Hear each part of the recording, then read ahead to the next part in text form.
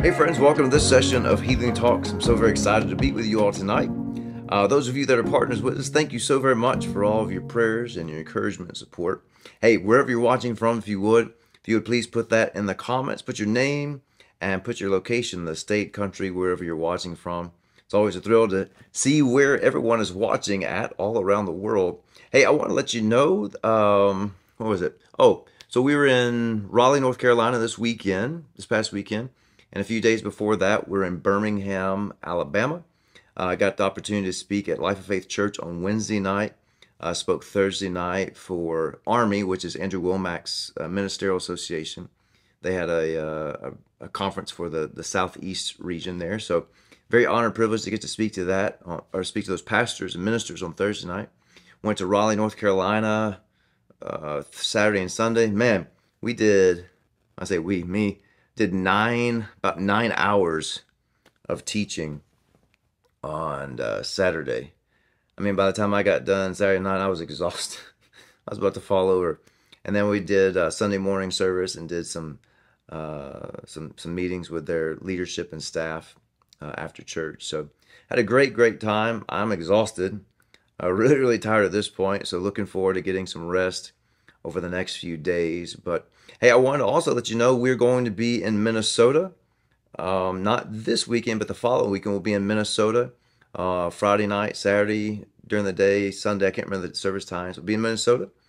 And then we're going to be in England. Our first trip back to England, be in Farnham, England. Uh, we've already got, I think there's about 85 people already registered for those meetings there. Uh, we have an Eventbrite, pray, Eventbrite page that's set up. But if you just go to our website, chadgonzales.com, go to the schedule link, and you'll be able to find uh, the information for the England meetings and click on that and register. We, we really need you to register for that if you're going because the venue that we're using, there's a, there's a capacity limit there for the seating. And so we need to make sure that we're going to have enough space there uh, for that. So I'm very, very excited to meet all of our wonderful partners there in the UK. I'm so excited. We've been getting so many wonderful messages from people that are coming in, not just from the UK, but surrounding countries as well uh, there in Europe. So, really excited to see you guys and so thankful. You know, I want to make mention of this. This weekend in, in North Carolina, I was blown away. We had people that came from Oregon, uh, Montana, um, several surrounding states around um, uh, North Carolina. Uh, there was a lot of people that traveled in for that. And I just want to say thank you. I know I say it a bunch, but it really does. It, it means the world to me that you guys would take the time and spend the money to come and be a part of those meetings. And it's just amazing to see uh, what God's doing and, and, and the movement God is building through all of this. And I'm just so very excited to be able to do this together with you. And uh, I think we just got the best partners in the world and, and really excited to see all those that are coming on board with us and joining the dream team every single week and just just so thrilled to be a part of what God is doing. So we're looking forward to seeing you in Minnesota. Looking forward to seeing you in, in England. We're going to be in Arizona uh, in August and somewhere else. I can't can't remember where else, but anyway, got some great stuff going on. Hey, I wanted to take. Oh, last thing. If you didn't see the email about the app, hey, we've got an app out now. Uh, the one for the Android phones came out right about the time of the conference, advanced conference. Uh, but the one for the Apple, the iPhones, was just released Friday, I believe. It was approved by Apple. So it's there in the App Store. And so download that. We've got lots of stuff in there. Uh, there's several things that are being added and tweaked. But check it out. Get it for your phone, get it for your tablet. And it's good, good stuff. I've been looking at it today. So what I wanted to do tonight, I've, I've been waiting to do this for a while, and I thought today would be a, a good day to do this.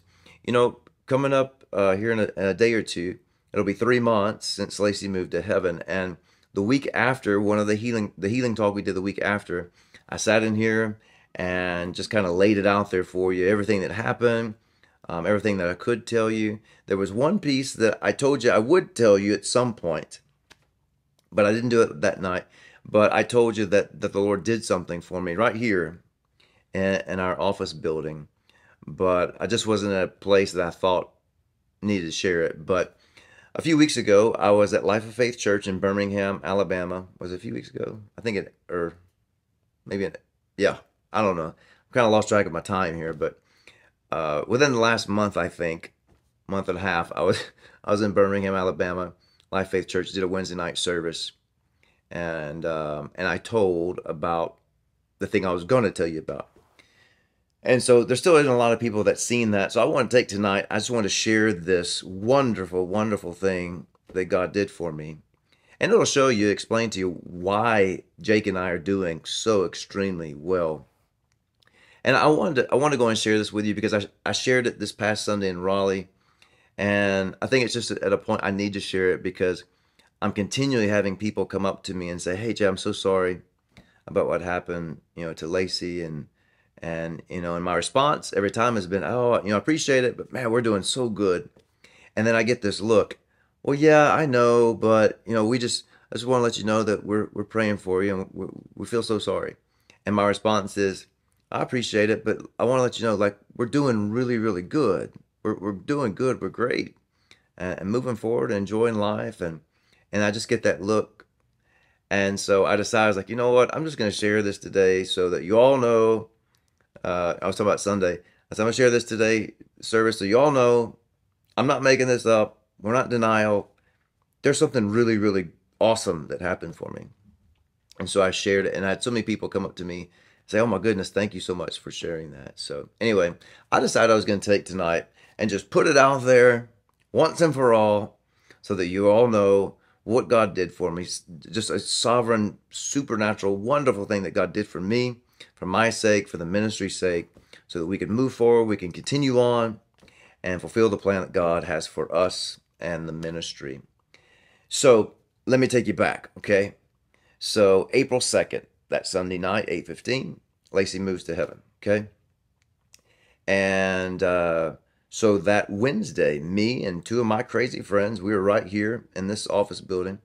And there's a room over here. We'd come in here to spend some time praying just to get some some uh, discernment, uh, get a uh, well, just to get an idea of kind of where we need to go, what to do, and uh, get just just get some leading on what we were going to do the next day. Because the next day we were going to go to the funeral home. You know, our plan was we were going to raise her up. I mean, there was just no if and but about it. So we came up here. We, it was about five thirty, I think, four or five five o'clock. Came up here to pray. And so me and my two buddies were in there and we're sitting on the floor and we're praying in tongues and just seeking direction, and insight for the Lord. Well, I was sitting there on the floor, got my eyes closed, and I'm praying in tongues. And all of a sudden, I'm going to say something. Now, I, I would hope that you know at this point, I am not one of the weird ones, okay?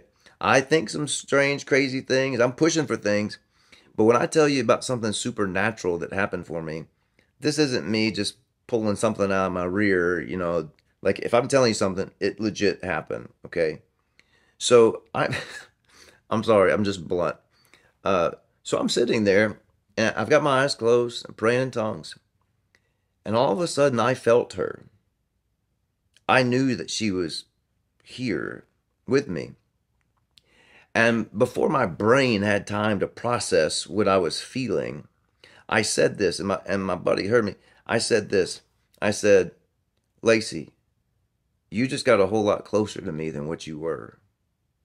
It's almost like, you know, when you're when you're standing somewhere, you're in a room or something, and you don't see them, but someone comes up right behind you, they sneak up behind you, and and you know somebody's there. You just got that sense that someone's there. Well, it was basically like that. I'm sitting there, and I'm praying, got my eyes closed, and all of a sudden I felt her to the degree that I said, You just got a whole lot closer to me than what you were. The moment I said that, I had a vision. I had my eyes closed, but I am seeing just like you're seeing me. And I'm I'm looking at, you know, the scenery here like I'm seeing, okay? My eyes are closed, but I have this vision and I see her. I am seeing her for how she is now. And I will never forget this as long as I live. I mean, I can close my eyes right now and I can see it. With my eyes closed, I just said, You just got a whole lot closer to me than what you were. And instantly, I had a vision. And with my eyes closed, I'm seeing her. And the only way I know how to describe it, as if like you took a snow globe and you brought it up near to your face.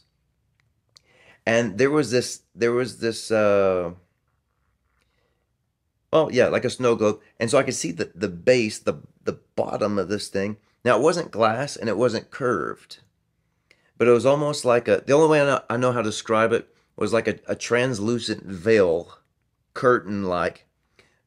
And I couldn't see the ends of it, but I could see the edge of the surface that she was standing on. I could see the outer edge of it. And she's standing there behind this this translucent kind of glimmery veil curtain like material. And she's standing there and she's smiling at me. And you know i can close i can see that and oh it just it touched me. She's smiling at me and she's wearing this long white uh, gown robe type thing and she's standing there and she's smiling at me and then she walks right up to the edge of this veil and she pressed her face against it like this. And she got her right hand and she stuck it through that veil and she pushed her hand and her arm all the way through, all the way up to her shoulder. So she's got her, her face pressed against it and she's got her her shoulder pressed against it as far as she could go right there. Well, I'm not going to lie. I see that. It kind of freaked me out. I close. I opened up my eyes. I said, "Guys, I got to tell you what just happened." So I relayed the story of what just happened, for what I just saw, what I just experienced. Well, I got so excited because I told them, guys, this is what the Lord just did for me. This is what I just saw. Lacy is standing there on the edge of glory She's standing there with her arm out and she's waiting on me to pull her over. Well, we were going to the funeral home the next morning at 9 o'clock. That was the time the funeral director gave us, 9 to 10. We were going to raise her up. When God did that for me, I was like, this is a done deal. Like, we already knew it was going to happen. But God just did this to encourage me and show me, hey, it's going to happen. She's she's standing there waiting on me to pull her over. So we get all excited. We talked about it that evening. Go to dinner.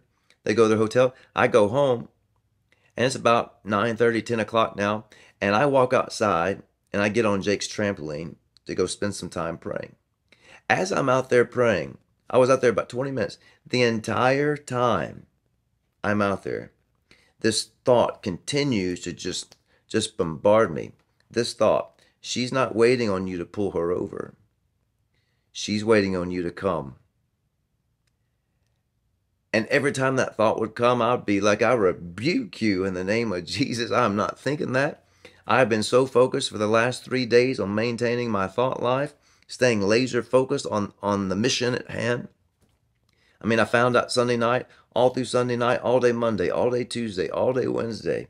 I have been laser focused. I've taken husband Chad, put him off in a box and it's it's in Christ, man, minister, man. You know, we got a we got a mission here, and for like 20 minutes, I mean, just nonstop, I could not get away from this thought that I had misinterpreted. I had put my own interpretation on what God sovereignly did for me because I was so focused on what I'm going after and what we're going to do. I couldn't get away from that thought. She's not waiting on you to pull her over. She's waiting on you to come. I got so mad, I walked inside, pulled up my Bible, read a few things, got a little snack, went to bed.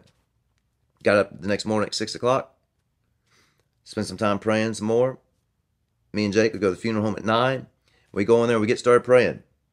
As we're praying, for about 20 minutes, 25 minutes, I'm getting frustrated because as I'm as I'm praying, I can tell I'm not connecting.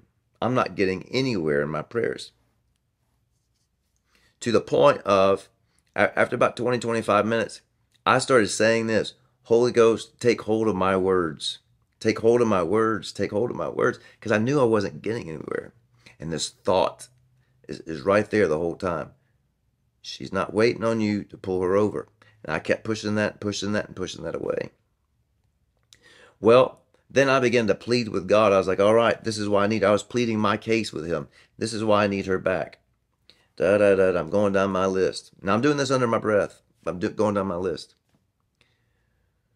After some time of doing that, I, I realized pretty quickly, mm, this ain't you. This isn't God withholding. This isn't his decision. This is hers. So I marched my little rear end right up to the casket. I'm standing over that casket. I'm looking at her body. I grab a hold of her hand and I start pleading with her. And I start telling her, I stood right there in front of that casket. I said, Lacy, back in 2005, I had my heaven experience. I know some of the things that you're seeing. I know some of the things that you're experiencing. If I were you, if I were you, I wouldn't come back either. But I'm telling you, I need you to come back. I start pleading my case. I walked over into the corner on this side, and under my breath, I'm talking to her. I'm telling her, you need to come back. I need you to come back. I walked, by this time, I walked to the back of the room. We've been going about 45, 50 minutes now. I'm standing in the back of the room. I'm still talking to her, telling her, you got to come back. I need you to come back. My other friend that was in the front, he's got this big, bassy, booming voice. He's, he's standing up there the casket, and he says this. He said, Lacy, I know where you're at. It's far greater, but I need you to come back. We need you to come back. And when he said that, I just I just kind of broke because I knew I was fighting against something I could not change because this was her choosing to stay. About that time, the funeral director came in, said, "Guys, I'm so sorry. Uh, you know, it's time for you. You have to go." And so my two friends came up to me and said, "Hey, uh, so what's the plan? What, what are we doing? What's what's the direction?" And I looked at him. I said, "Man, I didn't want to tell you about what I was dealing with last night, but I put my own interpretation on what God did for me. God sovereignly did that for me to show me she was okay. Two, this is her choice. Three, to give me some answers for some things so that I could move forward and answers for the ministry so that the ministry could continue to move forward.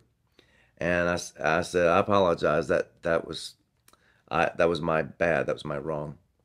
And, and my friend, he looked at me and said, well, he said, I didn't want to say anything, but when I was standing up there, we were praying, he said, I just kept seeing her clinging on to Jesus. And I said, well, yeah, I, I would agree with that. I mean, I didn't see that, but I would have no problem believing that because I, I know. I've known this since last night. And so, you know, then we sat down. I told Jake, and, uh, you know, we cried. I, I bawled like a baby right there just because that I allowed husband Chad to come back. And just the reality of you know the immediate future hitting. And so yeah i mean just those emotions come. And so that was on thursday. I mean i'm sorry. Yeah that was on thursday in the funeral. So on wednesday afternoon god gives me this vision. I see lacy for how she is and i see her at that veil their arm extended waiting on me that's on wednesday we go to the funeral home on thursday so for the next three days i'm not gonna lie and this is where i kind of picked up uh, on some of the story, you know, three months ago. But for those next three days of the weekend, I'm pretty, I'm numb. I'm just, I'm trying to process feelings and what am I going to do, you know, in the future. I'm a single dad. Never thought that. Never thought I'd be alone at 46. All this type of stuff. So, you know, I'm struggling that weekend a little bit. And, you know, with all the emotions, I know what I saw and I experienced here in this building.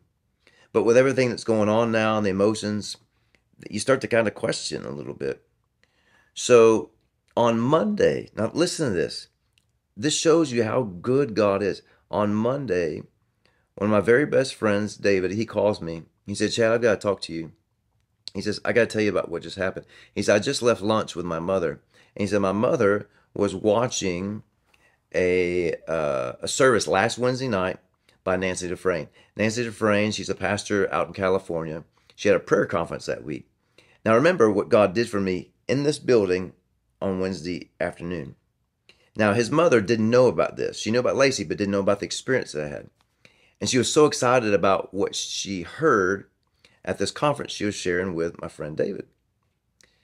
And she said, Nancy Dufresne, she was talking about this vision that this prophetess Clara Grace had. Now, I knew who Clara Grace was. Clara Grace was this uh, well respected prophetess um, back in the 60s, 70s. She was really close to Kenneth Hagin. And so Nancy Dufresne is relaying this vision that Clara Grace had. And Clara Grace said in the 60s, she said, I had this vision in which the Lord showed me, allowed me to see those that had crossed over to the other side, and that sometimes the Lord would allow, listen to this. Clara is telling this back in the 60s, okay? She said how the Lord would allow some of those who had passed on before us to walk up to that veil of glory and press their face and their arms and their hands through. And she begins to describe exactly what I saw in this building. Now, think about this.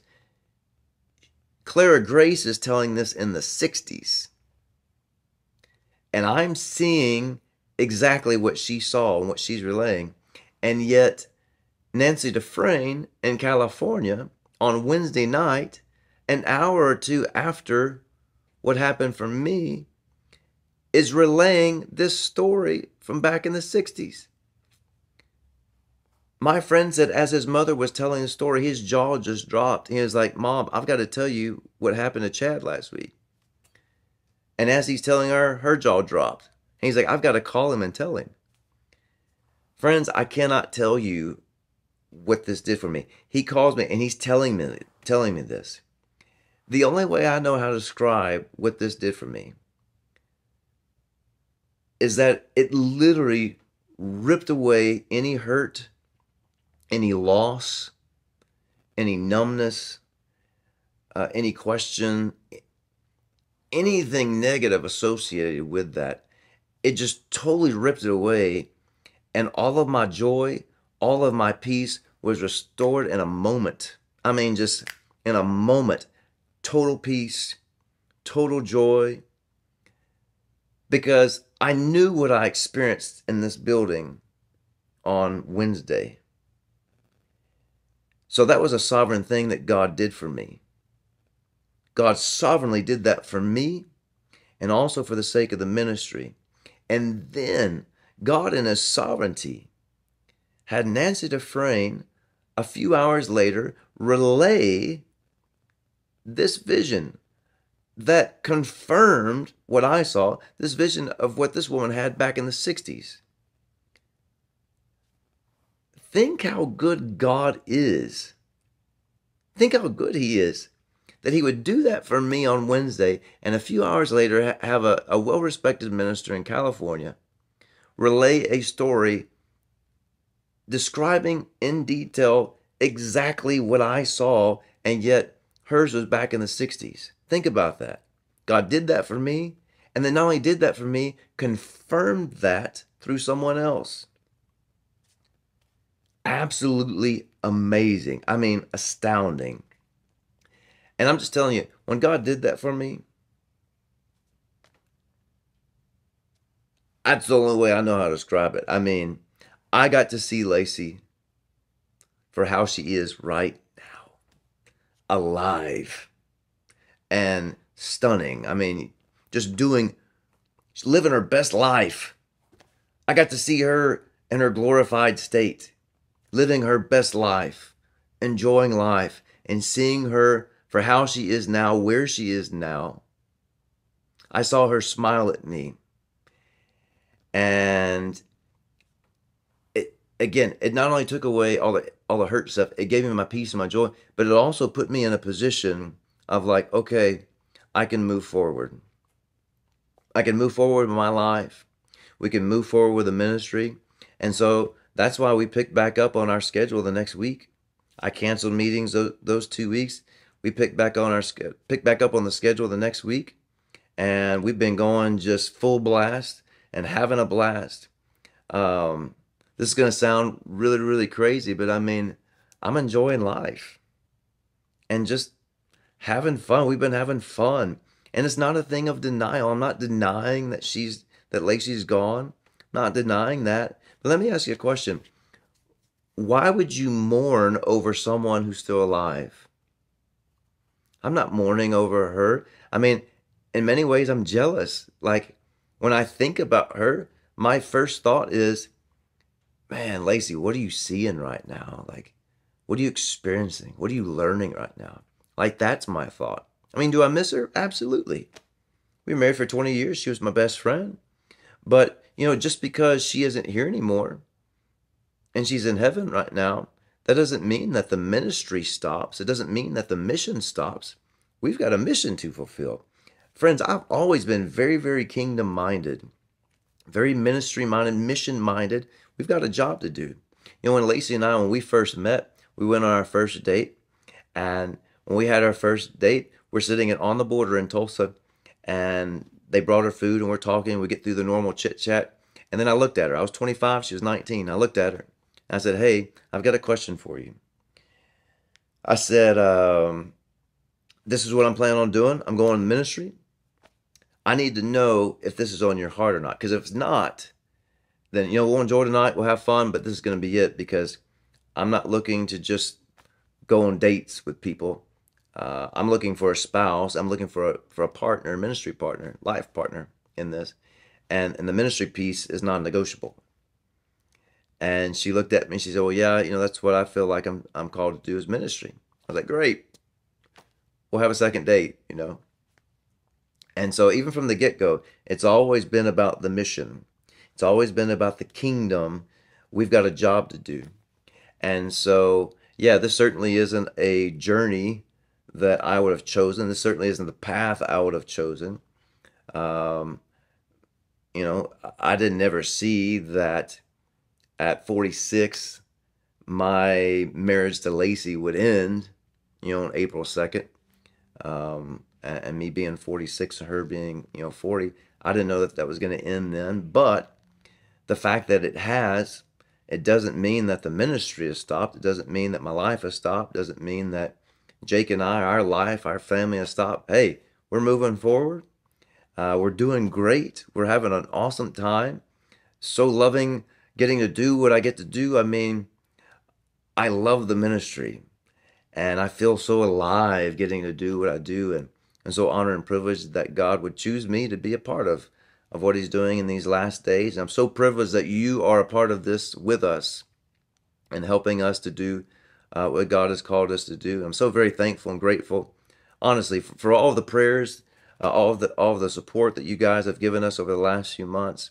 Just been amazing, just to see the, the love and the genuineness that uh, you all carry for us and uh, just just the sweetness that you have had for Jake. I mean, uh, you know, we actually got home and there was a package in the mail uh, for Jake, some Legos, and uh, you know who you are sent that. I just want to say thank you. We did get the the package. He was super excited, and uh, it's just just been cool. But uh, I wanted to share that with you because again, that was something that God sovereignly did for me and for the sake of the ministry. Now I'll say this too. That isn't something that we can all just put our faith on for God to do for us. I wasn't believing for that. I wasn't hoping for that, thinking about that. I didn't even know that was possible. But that was something that God sovereignly did for me because of what I'm going after, because of my stubbornness, and because of what I'm contending for and going after. I was going to need some answers, and I was going to need something very supernatural.